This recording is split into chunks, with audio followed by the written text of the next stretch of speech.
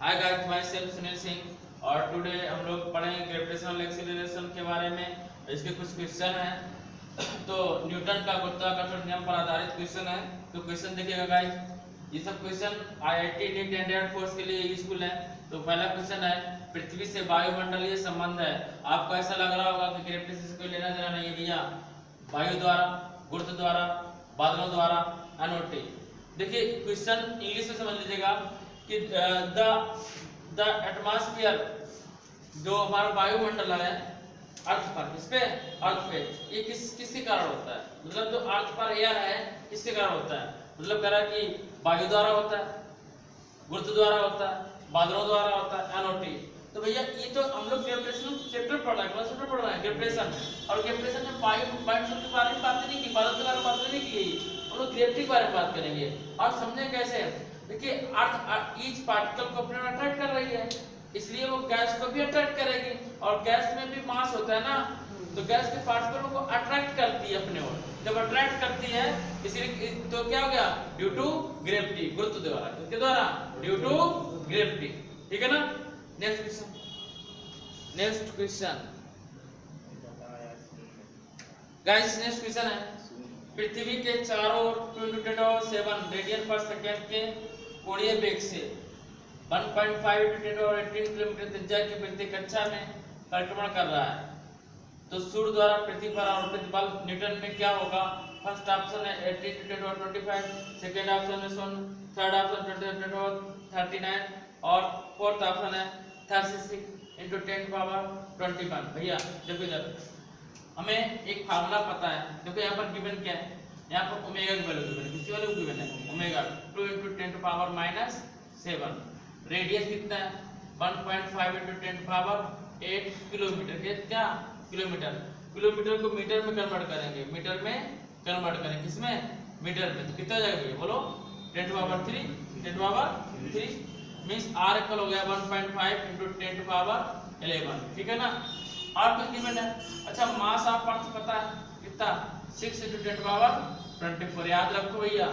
6 into 10 power 24 6 into 10 power 24 अब हमें force find करना है। क्या फाइंड करना है? फोर्स कैसे फाइंड करेंगे बताइए? F equal mv square by r पता है? जब कोणीय वेग में रिवॉल्व करेगा v इक्वल क्या होता है भैया? R ओमेगा क्या होता है? R ओमेगा F इक्वल क्या जाएगा? M. R ओमेगा का whole square upon r. F equal क्या होगा? M. R square omega square upon r. r से r कैंसिल होगा। F इक्वल क्या आया m r ओमेगा स्क्वायर क्या आया m r ओमेगा स्क्वायर ये F पोस्ट क्वेश्चन कभी नहीं पूछा जाएगा। ये एस एस आर में पूछ सकता है। ठीक है ना? डबल ए में पूछ सकता है। एनडीए में पूछ सकता है। नीट के लिए क्वेश्चन ये है। ठीक है ना? और ये नीट में क्वेश्चन आया हुआ भी है। M की वैल्यू है six into ten to power twenty four twenty four radius कितना है? One point five into ten to power eleven omega की वैल्यू कितनी है? बोलो two into ten to power minus seven two into ten to power minus seven का whole square का whole square ठीक है ना? नोट करो इतना। इसे सॉल्व कर दे रहे हैं? आप सॉल्व कर दें यस सर ये आप सॉल्व कर दे रहे हैं? तो एफ़ इक्वल देखो डायरेक्ट देखिएगा यहाँ पे। पंद्रह सेकंड नब्बे? नब्बे। नौ। सौ नौ और दो दूनी चार। यस सर नब्बे पॉइंट ज़ीरो पंद्रह सेकंड नब्बे one point zero nine point zero और दो दूनी चार दो दूनी चार। और ten power twenty four eleven कितना? Twenty four eleven thirty five. और थर्टी फाइव से फोर्टी लेस करेंगे। कितना ये ऑप्शन हो गया ten to power twenty one ten to power twenty one. यहाँ पे इक्वल आया thirty six into ten to power twenty one newton that's all. Note करिए भैया। नोट करिए बहुत तेज़ी से नोट करो।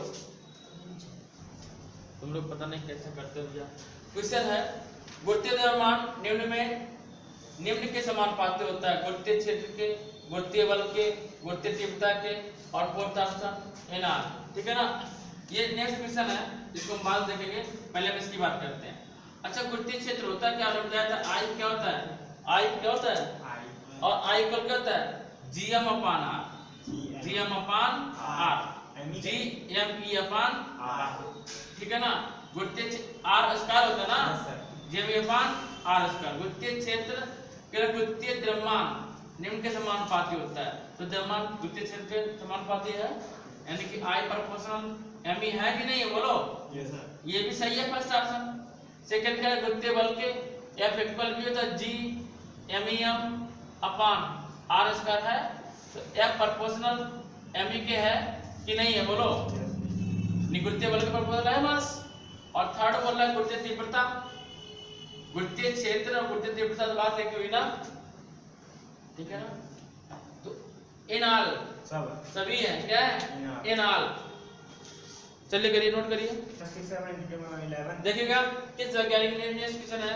किस साइंटिस्ट ने सर्वप्रथम जी का प्रयोग मान दिया प्रैक्टिकल वैल्यू ऑफ़ जी की किसने बताई थी? कैपिटल जी की वैल्यू साइंटिस्ट कैवेंडस ने। किसने बताई थी? हाँ। साइंटिस्ट कैवेंडस में कैवेंडस ने ये भी क्वेश्चन आया हुआ है। इसका डी पार्ट था। नेक्स्ट क्वेश्चन नेक्स्ट क्वेश्चन लेते हैं हम लोग। अच्छा, दो करोगे। दीवार अगर नहीं सॉल्व कर पा रहे हो। नेक्स्ट क्वेश्चन है। Distance between moon and earth is d. The mass of earth 81 times of the mass of moon. In which distance gravitational force is zero from earth surface भैया d by 2 पे 2 d by 3 पे 4 d by 3 पे 9 d by 10 पे। मतलब question ये कह रहा है कि कि पृथ्वी से चंद्रमा की दूरी d है। पृथ्वी से चंद्रमा की दूरी d है। और कह रहा है कि पृथ्वी का द्रव्यमान चंद्रमा से इक्यासी गुना अधिक है। तो कह रहा है कि किस पृथ्वी के केंद्र से कितनी दूरी पर पृथ्वी केंद्र से कितनी दूरी पर कह रहा कि अर्थ सरफेस मतलब अर्थ कितनी दूरी पर गुरुत्वीय बल शून्य होगा? कितनी दूरी पर गुरुत्वीय बल शून्य होगा? पहला ऑप्शन डिवाइड टू दूसरा ऑप्शन टू डिवाइड थ्री तीसरा ऑप्शन फोर डिवाइड थ्री चौथा ऑप्शन नाइन डिवाइड टेन देखो कितना सिंपल है। देखो तुम लोगों ने तो ये पढ़ा था फॉर्मूला याद करो g dash equal to. 1 minus 2h पाँच। अपान r 2h अपान r यदि यहाँ पर हम लोग h की जगह डिस्टेंस ले रहे हैं यदि d by 2 कर लें कितना कर लें? by by 2 तो देखो g डैश इक्वल टू कितना g? 1 माइनस 2 और h की जगह क्या रखेंगे? d by 2 कितना? d by 2 और r की रेडियस कितनी लेंगे? RE. d लेंगे r नहीं d लेंगे. हाँ, तो। कितनी लेंगे? d लेंगे. d से d कैंसिल और 2 से 2 कैंसिल तो g डैश इक्वल क्या आया? g. और 1 माइनस 1 g डैश इक्वल क्या आया. 0 अब जब ग्रेविटेशन एक्सीलरेशन d by 2 पे 0 हो रहा है किस पे by 2 पे 0 हो रहा है। गुरुत्वीय त्वरण का मान d by 2 पे 0 हो रहा है तो फोर्स भी F इक्वल टू mg होता है F इक्वल क्या होता है? Mg तो फोर्स भी 0 होगा फोर्स क्या होगा? 0 कितनी डिस्टेंस पर? By 2 डिस्टेंस पर। कितनी डिस्टेंस पर? By 2 डिस्टेंस पर। एक सेकंड का आंसर था। ठीक है ना? नोट करिए। नोट करिए भैया जल्दी से। नेक्स्ट क्वेश्चन है भैया। गुरुत्वाकर्षण बल मतलब ग्रेविटेशनल फोर्स आर इंग्लिश क्या बोलेंगे? ग्रेविटेशनल फोर्स आर कैसा है? गुरुत्वाकर्षण बल मतलब रिपल्सिव फोर्स अट्रैक्शन फोर्स आकर्षण बल, संरक्षी बल कंजर्वेटिव फोर्स और असंरक्षी बल नॉन कंजर्वेटिव फोर्स कैसा है? कौन सा ऑप्शन है? बोलो. ए है। मार खाओगे, भैया हमने बताया कि ग्रेविटेशनल फोर्स ही केवल आकर्षण बल लगाता है। मतलब गुरुत्वीय बल ही ऐसा है जिसमें केवल आकर्षण बल लगता है। प्रतिकर्षण बल नहीं होता है। गुरुत्वीय बल में प्रतिकर्षण बल नहीं होता है। हमने कहा each particle attract to another particle प्रत्येक कण दूसरे कण को क्या करता है? अट्रैक्ट करता है। क्या करता है? अट्रैक्ट करता है। आकर्षण बल अट्रैक्शन फोर्स क्या है? अट्रैक्शन फोर्स इसलिए जब एयर फोर्स का क्वेश्चन करना तो इसको इंग्लिश में ज़रूर पढ़ना। कभी कभार तुम लोग हिंदी भी हो जाएगी ठीक है ना? क्योंकि आप लोग मैक्सिमम वर्ड यूज़ कर रहे हैं इंग्लिश के। ठीक है ना? अट्रैक्शन फोर्स कैसा होगा? ग्रेविटेशनल फोर्स ही केवल अट्रैक्शन फोर्स होता है। और इसके बाद में इलेक्ट्रिक फोर्स पूछा जाए, ये भी रिपल्सिव फोर्स होता है अट्रैक्टिव फोर्स दोनों होता है मैग्नेटिक फोर्स पूछा जाए, ये भी अट्रैक्टिव होता है रिपल्सिव होता है, केवल gravitational force is always attractive force all other forces attractive and and repulsive are both बात समझ आ गई? नेक्स्ट क्वेश्चन पे बढ़ते हैं। नेक्स्ट क्वेश्चन है, पृथ्वी केंद्र पर वस्तु का भार the weight of centre of earth the weight of centre of earth पृथ्वी के केंद्र पर वस्तु का भार ज़ीरो होगा इनफाइनाइट होगा अथवा पृथ्वी की सतह से अधिक होगा। तो भैया हम लोगों ने जब डेरिवेशन किया था तो हमने बताया था कि अर्थ के सेंटर पर जी का मान ज़ीरो होता है। जी का मान क्या होता है? ज़ीरो। अक्ष के सेंटर ऑफ़ अर्थ पर g इक्वल टू ज़ीरो और f equal to the mg इसी को हम लोग वेट बोलते हैं भार बोलते हैं ठीक है ना. और जब g ज़ीरो हो जाएगा तो वेट भी भार भी ज़ीरो ठीक है ना? तो कौन सा ऑप्शन फ़र्स्ट ऑप्शन और इसका था B option next question question को देखिएगा। क्वेश्चन कह रहा है यदि पृथ्वी तल से यदि पृथ्वी तल से h ऊंचाई पर d के मान में उतना ही परिवर्तन होता है जितना पृथ्वी के भीतर x गहराई पर होता है। मीन्स इंग्लिश में क्वेश्चन को लिख कह सकते हैं लोग। The gravitational acceleration is same at the h height and the x depth h height पर और x डेप्थ पर। ग्रेविटेशनल एक्सीलरेशन क्या है? सेम है तो इसके लिए कौन ट्रू होगा? बताइए। देखो हम लोगों ने अर्थ की हाइट के लिए फॉर्मूला पढ़ा था g डैश इक्वल क्या? G one minus two H upon R ठीक है ना? और डेप्थ के लिए पढ़ा था g dash equal to g. One बोलो। One minus d upon R याद है? डेप्थ के लिए d अपान आर और हाइट के लिए टू एच अपान आर देखिए करवाया है? ठीक है ना? अब भैया इधर देखिएगा। डेप्थ के लिए डी अपान आ रही और हाइट के लिए डी एच अपान आ रही ठीक है ना? अब दोनों इक्वेशन को इक्वल कर दे। क्या करते हैं? और यहाँ पर ये क्यों लिखा गया है कि H is less than less than आ रही ये इसलिए लिखा गया है भैया कि एक फार्मूला और ये था हाइट के लिए क्या था? G dash equal to G upon one plus H upon R का होल स्क्वायर ये कब लेते थे? ये जब हम लोग लेते थे, जब एच का मान एच का मान आर ई बाई टू मतलब the value of H is equal to R greater than R E by two तब लेते थे, ठीक है ना? एच का मान जब आर ई बाई टू से अधिक हो तो ये लेते थे, और कम होता है तो ये वाला लेते थे, ठीक है ना? तो इसीलिए दिया गया H less than less than R मतलब आप कंफ्यूज ना हो, ये वाला फॉर्मूला ना लगा इसलिए दिया गया। ठीक है ना? बात समझ में आ गई आप कह रहे हैं कि ग्रेविटेशनल एक्सीलरेशन इक्वल दोनों। मतलब x पर और किस पे? ये फार्मूला तो यहाँ पर x लिख दिया डिस्टेंस है। x पर और और h पर ग्रेविटेशनल एक्सीलरेशन ज़ीरो है। तो इनमें क्या रिलेशन होगा? तो भैया, अब फ़र्स्ट में सेकंड में डिवाइड करा तो फ़र्स्ट में divide by second first equation में सेकंड इक्वेशन से डिवाइड कराते हैं। जब डिवाइड कराते हैं g dash g dash cancel हो जाएगा? 1 अपान 1 g से g कैंसिल होगा? ठीक है ना? और क्या बचेगा 1 minus 2h upon r e upon one minus X upon R ठीक है ना? अब ये इसके इक्वल हो जाएगा। क्रॉस मल्टीप्लाई कर देंगे। One minus X upon R equal to H upon R one minus two H upon R one से वन कैंसिल हो जाएगा? वन इधर आएगा रिप्लेस होकर प्लस माइनस हो जाएगा? और माइनस माइनस कैंसिल हो जाएगा? माइनस एक्स अपान आर ही बचा है। और क्या? टू एच अपान आर ही बचा है।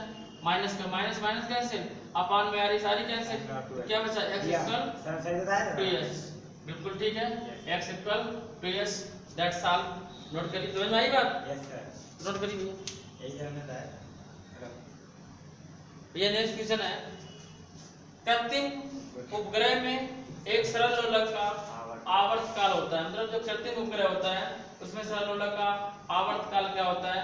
मीन्स इसको हम लोग ऐसे भी कह सकते हैं what is the time period of a, what is the time period of a सरल लोलक ऑफ़ a अच्छा ये इनफाइनाइट है ऑफ़ a आर्टिफिशियल सैटेलाइट भैया, इधर।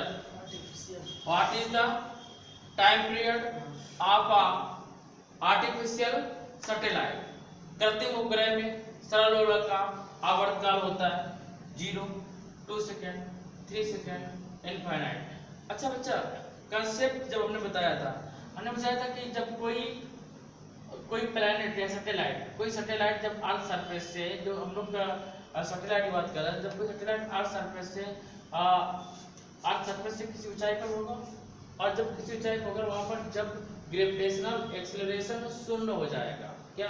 ग्रेविटेशनल एक्सीलरेशन शून्य हो जाएगा तब वो अपनी कक्षक में अर्थ कक्षक में रिवॉल्व करेगा। जब ग्रेविटेशनल एक्सीलरेशन यानी गुरुत्वीय त्वरण का मान क्या होगा? शून्य होगा। क्या होगा। गुरुत्वीय त्वरण का मान ज़ीरो होगा। जब गुरुत्वीय त्वरण का मान ज़ीरो होगा तब वो रिवॉल्व करेगा। ठीक है ना? और अर्थ सरफेस पे अगर ग्रेविटेशनल ज़ीरो नहीं होगा, यानी कि कुछ कम ऊंचाई पर रहेगा तो वो अर्थ सरफेस पे गिर जाएगा।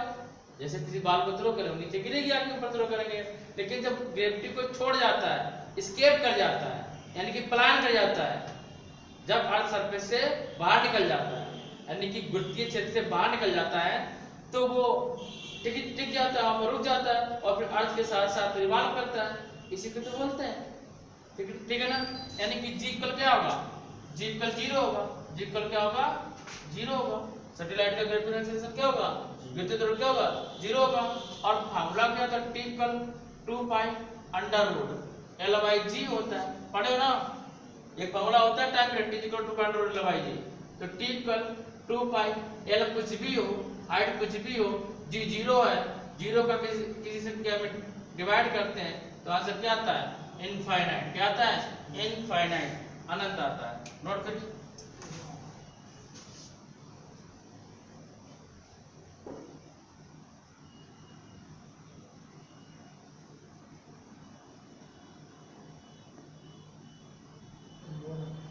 देखिए नेक्स्ट क्वेश्चन है। दो ग्रहों के औसत घनत्व समान है। परंतु त्रिज्या r1 व r2 है। यदि इन ग्रहों पर त्वरण g1 व g2 हो यदि इन पर विद्युत डी और डी हो तो G one upon equal to R one upon R two G equal to R two upon R one G equal to R square upon R square G one upon equal to R square upon R square मैं सिर्फ़ question ये कह रहा है English में समझ लीजिएगा दो सैटेलाइट है कितने दो सैटेलाइट है उनकी डेंसिटी इक्वल है। डेंसिटी कैसी है? इक्वल है। यदि कह रहा उनकी radius respectively R and R radius r1 r2 and gravitational acceleration respectively g1 g2 then the ratio this तो भैया बोलिए आंसर फटाफट बोलिए। हम लोगों ने जब फाइंड किया था अर्थ सरफेस के नीचे के लिए तो हम लोगों ने पहले फार्मूला किया G equal G M E upon R square लिया था। याद कर लिया था? अब हम लोगों ने मास को क्या लिखा था भैया? वॉल्यूम इनटू डेंसिटी लिखा था? बोलो याद आया? वॉल्यूम इनटू डेंसिटी और वॉल्यूम कितना होता है? वॉल्यूम कितना होता है? G rho into four by three pi R E cube होता है? अब आर लिख लो आर लिखा हुआ है R two R E cube upon R square करवाया था? आर स्क्वायर कैंसिल हुआ? मीन्स हमारे पास जी इक्वल आया था। जी इक्वल आया था कितना? Four by three pi G rho और आर ये आया था। ज़ीरो और आर ये आया था। ठीक है ना? मीन्स जी वन ये सब कांस्टेंट है? G one proportional R one and G two proportional R two. R two G one proportional R one and G two proportional R two divide कर दो तो कितना आएगा? G one upon G two equal to R one upon R two आएगा कि नहीं आएगा? बोलो। तो वहाँ से देखो क्वेश्चन कैसे बन सकता है? नीट आईआईटी एयर फोर्स का क्वेश्चन कैसे बन सकता है? ये क्वेश्चन एयर फोर्स के लिए नहीं है एनडीए सीडीएस के लिए है नीट के लिए है और आईआईटी के लिए है। इतना टफ क्वेश्चन एयर फोर्स में नहीं देते हैं, ठीक है? एयर फोर्स में छोटे छोटे क्वेश्चन देते हैं। जैसे कि हम लोगों ने देखा है कि कैप्टन जी की खोज किसने करी? जी का प्रयोग विमान की किसने बताया सबसे पहले? तो साइंटिस्ट कमेंडस ने, ठीक है ना? बात समझ में तो नोट करिए। गाइस जय हिंद, जय भारत मिलते हैं नेक्स्ट डे नेक्स्ट वीडियो के साथ में. Thank you